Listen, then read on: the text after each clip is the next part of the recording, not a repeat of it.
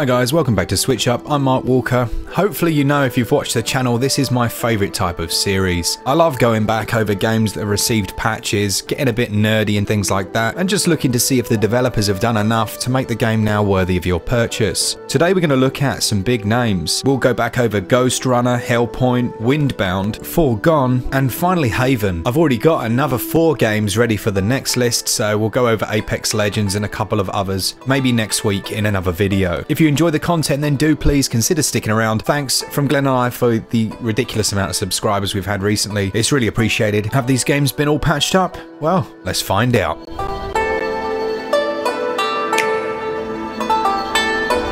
Let's actually start off by looking at Haven. Now Haven was an interesting game. It was a mix really of a visual novel and an exploratory adventure game that saw you moving throughout the world, or should I say gliding, clearing the red rust from the different small island areas. Now unfortunately, performance as you can see wasn't perfect at launch. The frame rates would very often drop below 30 FPS. The visual fidelity was quite low, so you ended up with a reasonably blurry image, but the main issue were a number of crashes.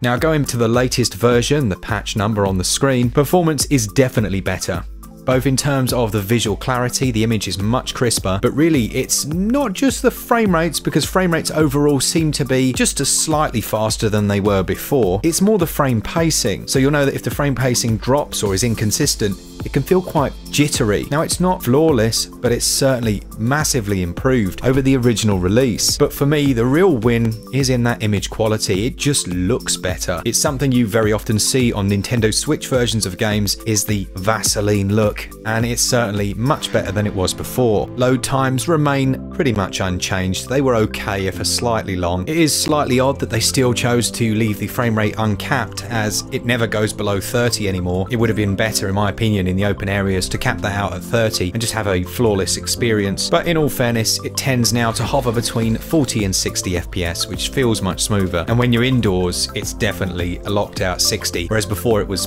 55, 50, and you could feel a little bit of variation there. So for our first game, Haven has done a decent job. The gameplay itself, uh, still not entirely my cup of tea, but if you didn't pick it up because you were worried about crashes and some slightly iffy performance, then it's nice to know that it's been improved.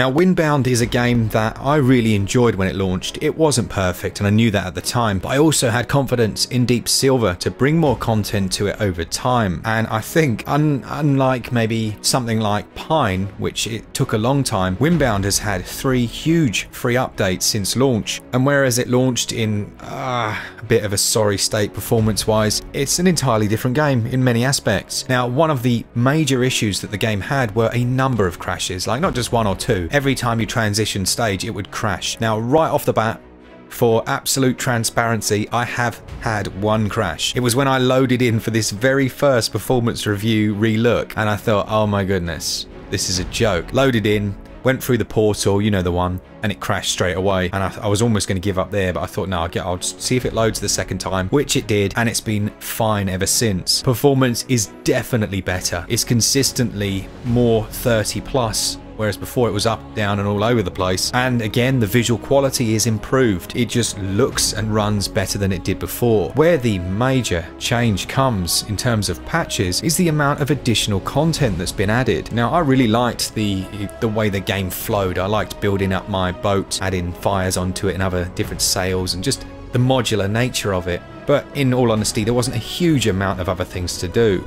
Straight off the bat, they've added a new game plus, allows you to head back in, but when you do so, you'll also find a number of new options. So there's entirely new build options, and in fact the amount of crafting items and craftable things is greatly increased from when I first reviewed the game. There are new weapons, new armors, there's entire new subcategories of things that you can craft, there's new places to explore, and there's also an infinite sailing mode if you just want to go out and enjoy the relaxing sailing aspect of the game without any of the survival stuff. The other major new features are the loathing, the forsaken enemies, so some of the islands have these new strange enemies on them. There's new melee combat moves, so there's entirely new moves added into your, your move set, I guess. There's new items as mentioned, and um, one of the big aspects of the game was there were towers that you just had to go to. They weren't particularly interesting. It's an outstanding amount of work that they've done. There's there's no overstating it. You're looking at pages and pages of bug fixes, additional content free of charge, and for all the detractors at launch, I'm feeling a tiny little bit smug because this is yeah, this is a great game now and it's even better than it was. And it looks like there's even more content coming in the very near future. So fair play to Deep Silver. They really have improved Windbound in almost every way.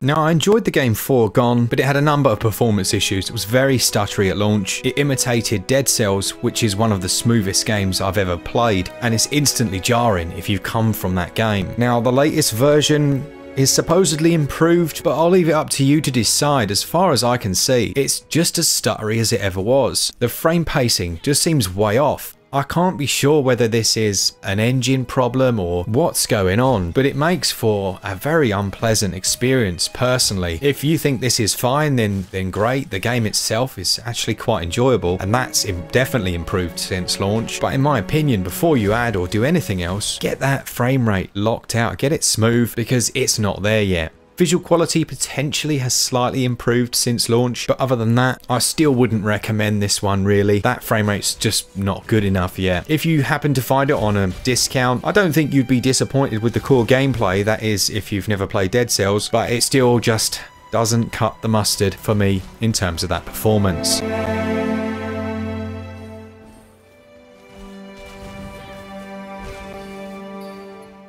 Next up then we've got the very interesting Hellpoint, which was similar to Dark Souls in terms of its gameplay, except it's set in space, so imagine Dark Souls with a Dead Space skin, and you're coming kind of close. Now this one had a number of performance issues again at launch, and there were certain areas where the frame rate came down to about 10 or 15 frames per second when there was a lot going on on screen. Also, the image quality was significantly worse, significantly worse than any other platform, and unfortunately maintaining a frame rate just wasn't something the game was intent on doing for any great length of time. The patch then sees a mixed result. In the earlier half an hour of my patch playthrough, I was thinking, my goodness, this is hugely improved and the image quality is definitely better, the lighting is better, some of the shadows look crisper, and overall, it's certainly a big improvement in those earlier stages. The frame rate seems much more consistent, and it's definitely better than it was. But, and here's where it where I'm annoyed that it happened because I was thinking this is great and then I thought I'll just push on for another half hour or so into this different area and see what happens. I got into the next area and fair play it was terrible before the performance there but it's still not great. You can see straight away there are drops in the frames, the frame pacing isn't quite right and this area certainly is just not very good. Other ones with that slightly unusual choice of an uncapped frame rate seem to go all the way up to 60 FPS and maintain that for the vast majority of your time. But to be fair to Hellpoint, image quality is improved, performance is slightly improved.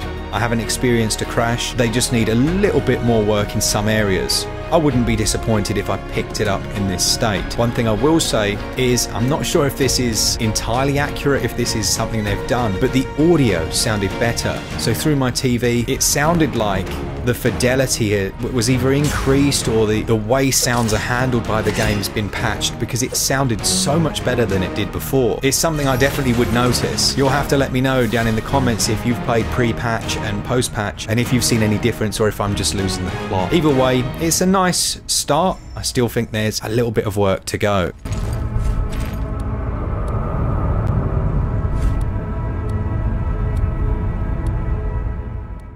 What's that old saying? Save the best until last. Well, finally then, let's look at Ghostrunner. When Ghostrunner launched on the Nintendo Switch, I think the closest thing that I can compare it to would be a turd sandwich. And I was so excited to buy into this one, and my goodness, was performance, visual quality, audio, everything about the port was a disaster. It looked like you tried to run it through a Sinclair ZX Spectrum. Textures were blurry, and in fact, the texture and the visual quality was so bad that it impacted your ability to play the game.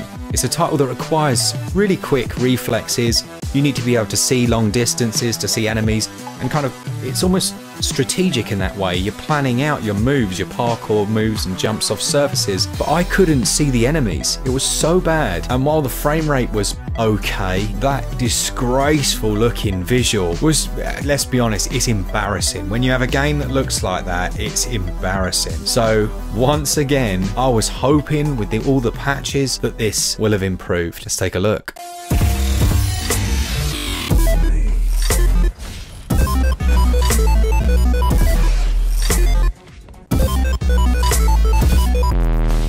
As you can see, it is worlds better than it was at launch. It feels like a different game to play. No, it's never going to look as good as the other console versions, but let's start with the lighting. The overall lighting and the way it's rendered on Switch is much improved. The texture resolution, while it's still not perfect, the textures are so much cleaner than they were at launch. Anti-aliasing, so the jagged edges on all of the surfaces and areas were so badly handled at launch, it was just a blurry nightmare. They've pulled it back and it looks much clearer while still maintaining quite a lot of detail. Even down to things like your katana that you hold in your hand. That was a pixelated nightmare at launch. It now looks like a sword. There were a number of audio glitches and issues in that department at launch. That's no longer the case. The draw distance is improved. There's still not the greatest draw distance in some areas and you can see that level of detail draw distance on the floor areas is kept reasonably low. The difference is there seems to be a much higher bar in terms of that overall quality. I'll be honest with you, I, I wasn't expecting much because I visited this after the first patch and just thought, well yeah, it's slightly better but it's still very iffy. But now I would happily and if I was to re-review this, I'll actually put, you'll see on my review, I'm going to put a little disclaimer, check the top comment and I'm going to link to this this video because I've got all the time in the world for a developer that takes the time and effort to basically admit it was absolutely crap. And then work very hard because it's not easy on the switch. Like the switch it's a it's a tablet. It's essentially a tablet and you're trying to run these next gen games on it. So yeah all the time in the world if they if they put in the effort to get it running like this. Performance seems smoother again so i think it was locked out generally 30 at all times. I've seen less stutters now. Visual quality much better. Is there any more i think they could do? Potentially. There are a couple of flickers and shimmers. You'll see a few slightly odd areas where the lighting doesn't quite work right. But actually it's a really enjoyable game now. And if you're seeing it on sale, which it was quite recently, I wouldn't be worried anymore about picking this one up on Switch.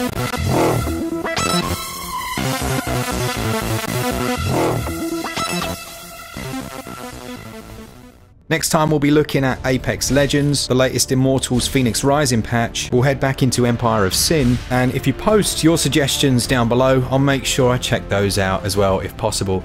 Oh, also Story of Seasons, I've already got the footage for that one. All that's left to say is thank you so much for watching, please do subscribe if you enjoy the content, and as always, for all things Switch, all the time, thanks to our patrons as well. Man, keep it Switch up. Cheers guys, see ya!